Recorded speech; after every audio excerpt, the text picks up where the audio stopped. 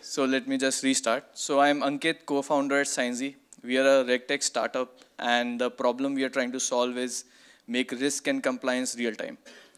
Um, today we work with almost 51 financial institutions in Asia, uh, including the largest public sector and private sector bank in India. We onboard 350,000 end consumers every month for these customers.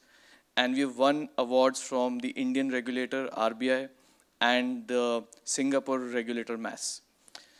Um, so to set a context, um, there is this great anomaly in banking today that while e-commerce, the product is physical, the actual transportation of the product is physical, the experience of the consumer is truly digital and great.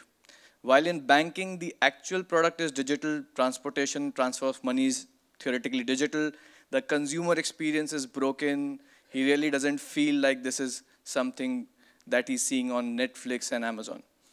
And why is that? It's because while banking and everyone else has understood we need to have digital interaction, which means a mobile app, which means a web app, which means chat. What they haven't been able to do well is that operations is still a manual silo-based process. And it requires time to give back decisions to the customer. And that is the core reason why the consumer experience is still not as good as a Amazon or Netflix.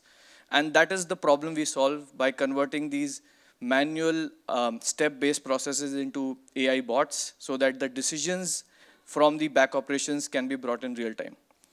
Three products allow us to do that. I'll just briefly, briefly take you through them.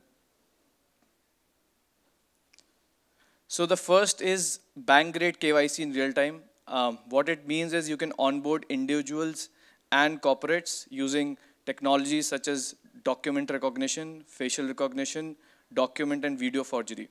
Of course, there isn't enough time to go into more details, but the goal is you're not doing anything different. You're just converting what people were doing into what uh, into AI bots rather than doing shortcuts such as SMS and OTP. Next, because you are a regulated entity, you need to look at AML CFT, and false positive is a big issue, and that leads to breakage, leads to manual intervention. AI-based classification of false positives leads to, again, elimination of this extra leg of an AML CFT desk in the system. And the third thing, which is not always well um, put forward, is that back operations needs to also undergo a user experience change. The back operations team needs to see a visual dashboard where they can make decisions very, very fast versus their today quite frankly, really broken systems. So these three are the key elements that we have seen have allowed banks to cut down their turnaround times from weeks to minutes and form key features of the product. What it leads to for the bank, an amazing user experience. Your dropout rates on digital go down phenomenally. We have seen customers who today now do 60% of their onboardings digital, not just individuals, but even small merchants and SMEs. And the salespeople actually push digital because the experience is so great. It's more safe actually than traditional because when the data is getting passed from only uh, digital system to dig digital system, you have an audit trail, you can control it, you can make sure that the latest regulations are being followed. You don't have to retrain teams, you don't have to retrain people to actually understand the laws and fast integration. So we'll go that into the last slide where Oracle comes in, is that if you are on API banking, you can actually go live in weeks and not in months. Uh, so just to give a brief background, so the current system looks something like this, totally broken.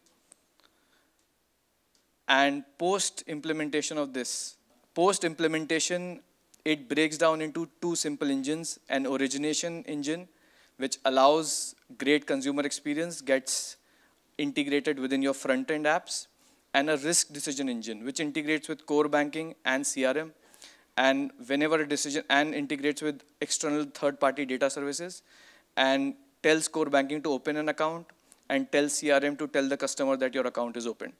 So now this is where banking APIs come in. So if, bank, if your banking API ready, then and you just have to now go and apply a risk engine and an origination engine, your time to market is in weeks because everything else is built in. So if you're live through Oracle banking APIs, and we already have an integration with them, you don't have to have a month or a year digital transformation. Your digital transformation can just be mere weeks.